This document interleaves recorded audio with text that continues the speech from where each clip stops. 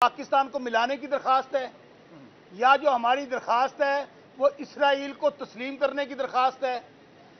ہم نے جو پاکستان کے الیکشن میں تاریخی دھاندلا ہوا ہے، جو پاکستانی عوام کا مینڈیٹ چوری کیا گیا ہے، اس کے اوپر کوئی تقریباً ڈیڑھ سو کے قریب ہمارے M N As M P A جو فارم فورٹی پہ الیکٹ، فورٹی فائیو پہ الیکٹ ہوئے ہیں ہم لوگوں نے اپلیکیشن دی ہے چیف جسٹس قاضی فائزہ کے خلاف کہ ہمیں ان پر اعتماد نہیں ہے، وہ ہمیں انصاف نہیں دے رہے، بلکہ انہوں نے انصاف کا قتل کیا ہے اور وہ اپنے آپ کو کیس سے الگ کر لیں۔ آج وہ بات ثابت ہو گئی۔ کیوں ثابت ہو گئی؟ آپ کو یاد ہوگا لیاقت چٹھا کمشنر راول پنڈی اس نے کیا کہا تھا؟ نے کہا تھا، ہم لوگوں نے پنڈی ڈویژن کے اندر لوگوں کو ستر ستر ہزار ووٹوں سے ہرایا ہے۔ اس نے کہا، میرا ضمیر مجھے ملامت کر رہا ہے، میں مرنے سے پہلے یہ بات کر کے جانا چاہتا ہوں کہ اس میں میں اکیلا ذمہ دار نہیں ہوں۔ اس میں چیف جسٹس قاضی فائزیسا اور chief election commissioner Sultan Sikandar Raja شامل ہیں۔ اور میں مطالبہ کرتا ہوں کہ ہمیں ڈی چوک پر پھانسی پر لٹکایا جائے۔ آج ہمیں نہیں سمجھ آتی کہ لیاقت چٹھا کو زمین کھا گئی، آسمان نکل گیا، ان کو کیوں نہیں بلایا جا رہا؟ لیکن آج ہمیں سمجھ آ گئی ہے۔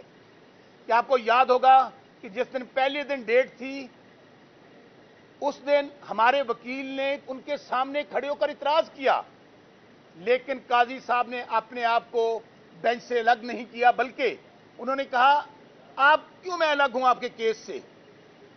ہمارے قائد عمران خان مطالبہ کر چکے ہیں ان رائٹنگ یہاں سپریم کورٹ میں ان کا بھی آ چکا ہے کہ ہمیں چیف جسٹس قاضی فائزی صاحب پر انتظار پنجوتا صاحب کھڑے ہیں، چیف جسٹس عامر فاروق صاحب پر انہوں نے عدم اعتماد کیا، ان کے سامنے کھڑے ہو کر۔ تین لوگوں کا ہم صرف ان پہ عدم اعتماد نہیں، بلکہ ان کا ریزگنیشن طلب کرتے ہیں۔ چیف جسٹس قاضی فائز عیسیٰ کا، چیف جسٹس عامر فاروق کا اور chief justice election commissioner Sultan Sikandar Raja کا۔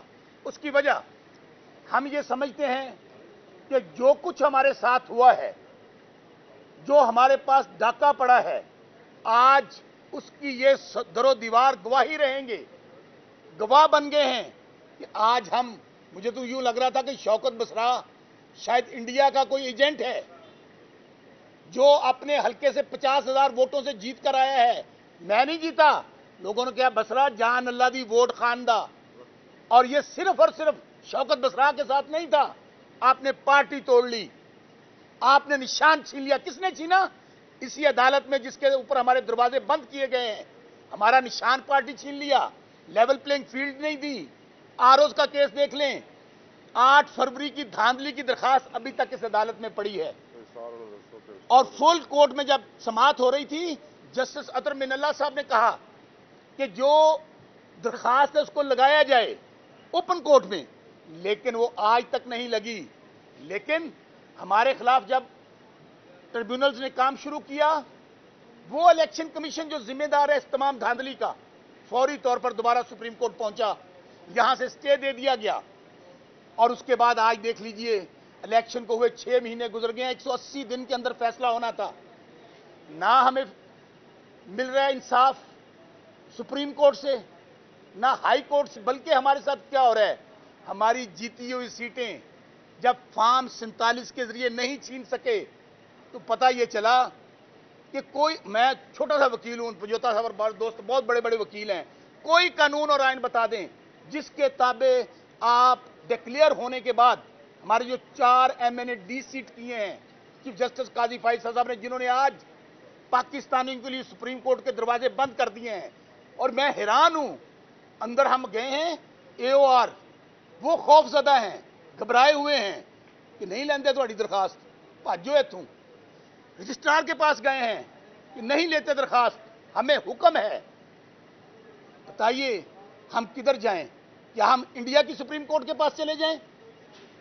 کیا ہم افغانستان کی سپریم کورٹ کے پاس چلے جائیں؟ کیا ہم پاکستانی جو ہیں، جو ہم کہتے ہیں کہ ہماری جان ایک بھی خون کا قطرہ آپ گراؤ گے تو اس میں سے آواز نکلے گی کہ سب سے پہلے پاکستان۔ عمران خان کیا کہتا ہے کہ میرا جینا اور مرنا پاکستان کے ساتھ ہے۔ آج ادارے اگر ہمارے ساتھ یہ کر رہے ہیں تو بتائیے بنگلہ دیش میں کیا ہوا تھا؟ جو بار بار ہم کہہ رہے ہیں، وہاں بھی یہی ظلم اور ناانصافی ہوئی تھی۔ اس لیے آج بڑے دکھ کے ساتھ اور یقین مانیے، آج جب میں سپریم کورٹ سے باہر نکل رہا تھا مجھے یہ لگ رہا تھا کہ شاید آج پاکستان میں ہمارے لیے محفوظ نہیں رہا۔ جب سپریم کورٹ، سب کی سپریم کورٹ ہوتی ہے، ہائی کورٹ، سب کی ہائی کورٹ ہوتی ہے، جب کہیں سے آپ کو انصاف نہیں ملتا، پہلے پاکستان میں مار کے لگا ہوا ہے۔ کسی کی جان، مال، عزت محفوظ نہیں ہے۔ ہماری ماؤں بہنوں، بیٹیوں کو جیلوں میں بند کیا گیا ہے۔ عمران خان صاحب کو آج دو سو مقدمہ درج کر دیا گیا۔ جب نہیں ٹوٹے عدت میں نکاح جیسا گھٹیا مقدمہ درج کیا گیا۔ اور آج ہم پھر جب سپریم کورٹ آئے ہیں، لیکن میں یہاں سے یہ پیغام دینا چاہتا ہوں۔ چیف جسٹس قاضی فائز صاحب کو۔ قاضی صاحب، مٹ جائے گی مخلوق تو انصاف کرو گے۔ منصف ہو تو حشر برپا کیوں نہیں کرتے؟ ہم بار بار آئیں گے۔ قاضی صاحب، میں بار بار، ہمیں آپ پہ اعتماد نہیں ہے۔ ہمیں آپ پہ اعتماد نہیں ہے، ہمیں آپ پہ اعتماد نہیں ہے۔ آپ تحریک انصاف اور عمران خان کے کیسز سے الگ ہو جائیں۔ انشاءاللہ ڈیڑھ سو لوگ جو ہم فارم فورٹی فائیو پہ جیتے ہوئے ہیں، انیس کو کیس لگا ہوا ہے، ہم دوبارہ پھر آئیں گے۔ ہم فیصل مسجد جا کے حلف دے چکے ہیں سب لوگ اب بھی دینے کے لیے تیار ہیں۔ یہ کیا ہوا؟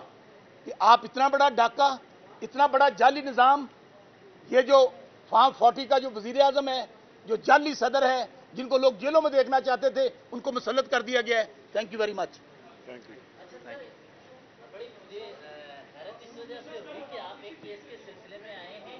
مانی پی ٹی آئی کا ایک کیس کے سلسلے میں ان کی بہنوں نے درخواست دی ہے۔